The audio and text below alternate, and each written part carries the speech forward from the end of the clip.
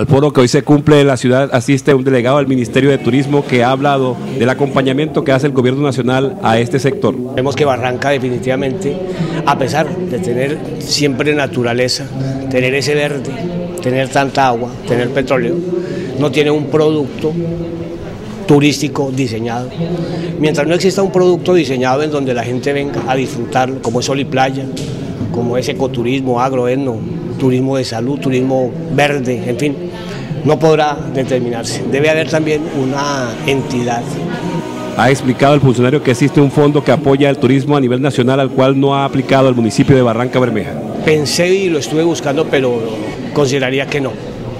Es posible que haya accedido a recursos, pero le colocaba manera de ejemplo por ejemplo, el, el caso de Leticia Amazonas, en donde se puede observar que le hicieron el muelle en el río Amazonas, para que la gente que se bajaba de, las lanchas, de las canoas, de estos, no se cayera.